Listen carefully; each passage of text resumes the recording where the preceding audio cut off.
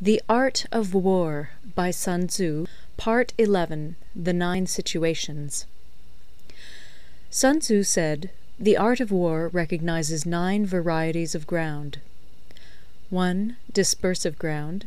2. Facile ground. 3. Contentious ground. 4. Open ground. 5. Ground of intersecting highways. 6. Serious ground. 7. Difficult ground. 8. Hemmed in ground. 9. Desperate ground. When a chieftain is fighting in his own territory, it is dispersive ground. When he is penetrated into hostile territory, but to no great distance, it is facile ground. Ground the possession of which imports great advantage to either side is contentious ground. Ground on which each side has liberty of movement is open ground. Ground which forms the key to three contiguous states, so that he who occupies it first has most of the empire at his command, is a ground of intersecting highways. When an army has penetrated into the heart of a hostile country, leaving a number of fortified cities in its rear, it is serious ground. Mountain forests, rugged steeps, marshes, and fens all country that is hard to traverse. This is difficult ground. Ground which is reached through narrow gorges, and from which we can only retire by tortuous paths, so that a small number of the enemy would suffice to crush a large body of our men, this is hemmed in ground. Ground on which we can only be saved from destruction by fighting without delay is desperate ground. On dispersive ground, therefore, fight not. On facile ground, halt not. On contentious ground, attack not. On open ground, do not try to block the enemy's way. On the ground of intersecting highways, join hands with your allies. On serious ground, gather in plunder. In difficult ground, keep steadily on the march. On hemmed in ground, resort to stratagem. On desperate ground, fight.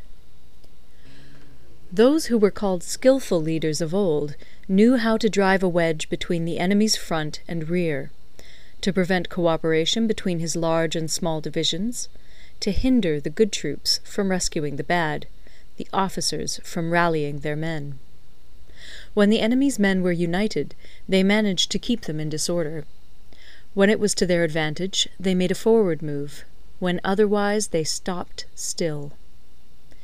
If asked how to cope with a great host of the enemy in orderly array, and on the point of marching to the attack, I should say, begin by seizing something which your opponent holds dear. Then he will be amenable to your will. Rapidity is the essence of war. Take advantage of the enemy's unreadiness. Make your way by unexpected routes, and attack unguarded spots. The following are the principles to be observed by an invading force. The further you penetrate into a country, the greater will be the solidarity of your troops, and thus the defenders will not prevail against you.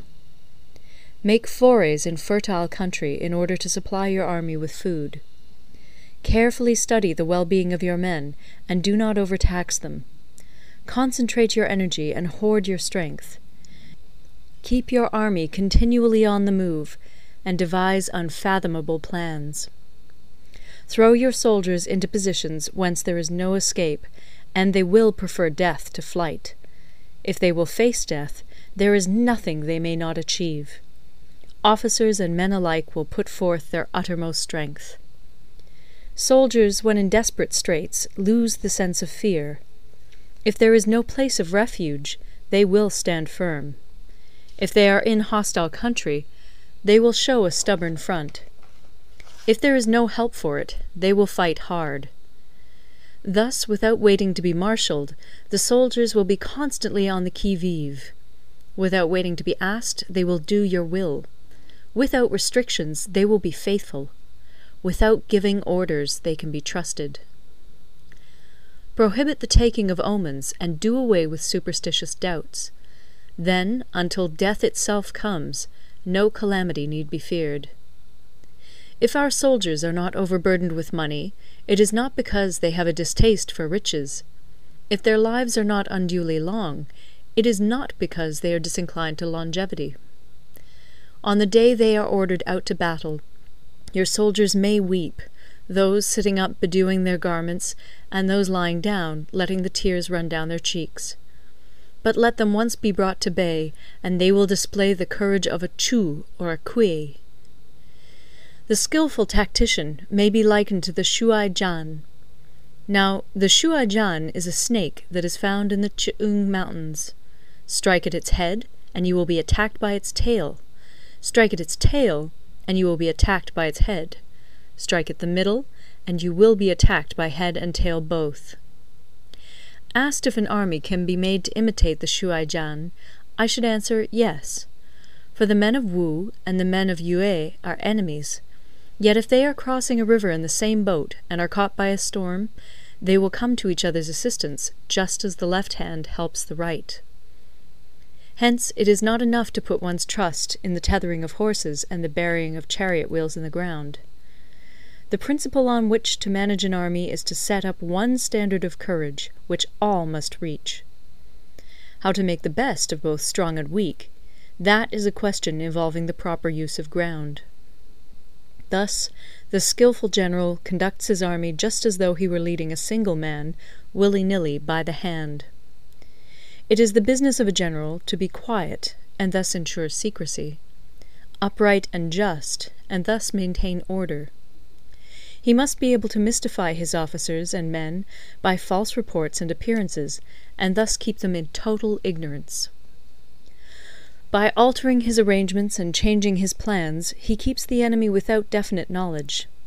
By shifting his camp and taking circuitous routes, he prevents the enemy from anticipating his purpose.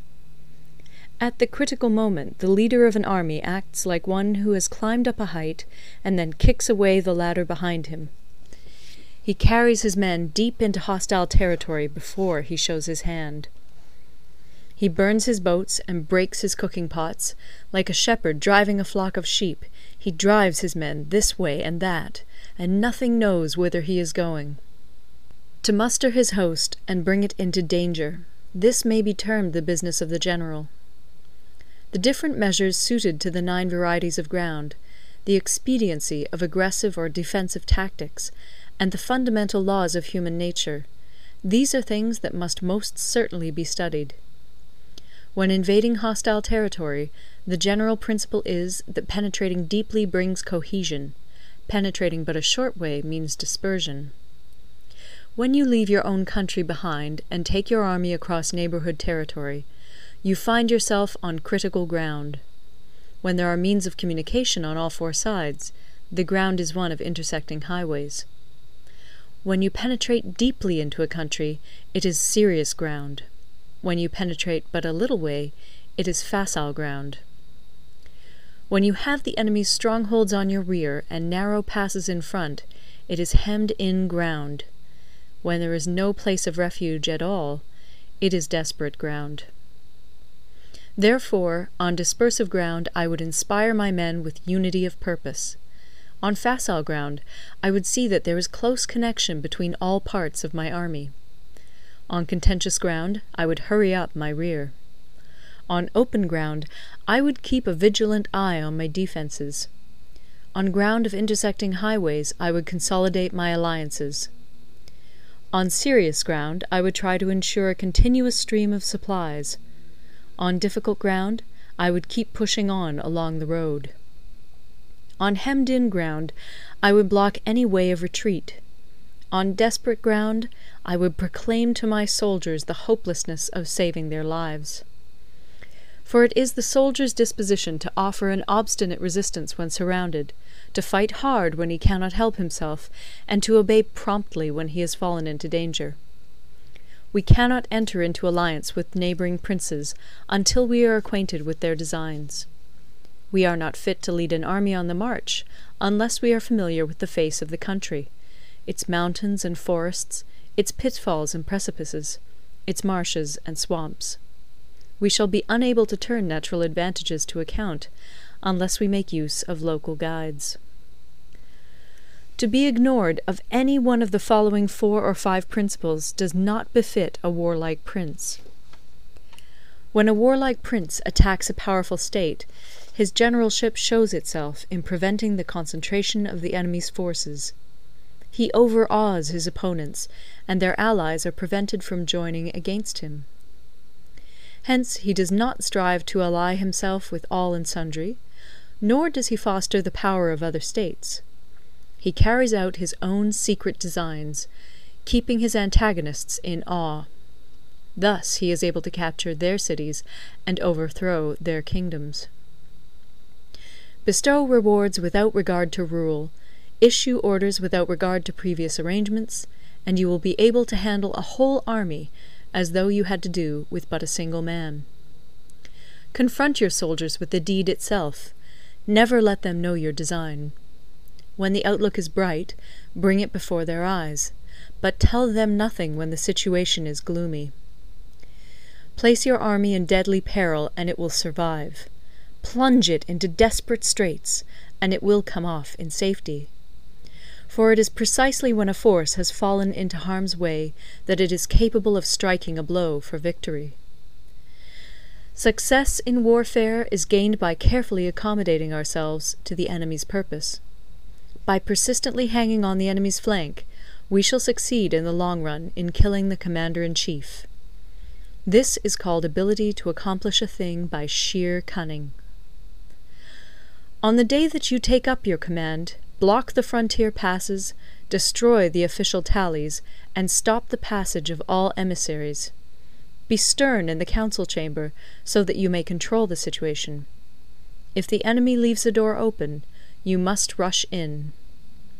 Forestall your opponent by seizing what he holds dear, and subtly contrive to time his arrival on the ground. Walk in the path defined by rule, and accommodate yourself to the enemy until you can fight a decisive battle. At first, then, exhibit the coyness of a maiden, until the enemy gives you an opening. Afterwards emulate the rapidity of a running hare, and it will be too late for the enemy to oppose you. End of Part 11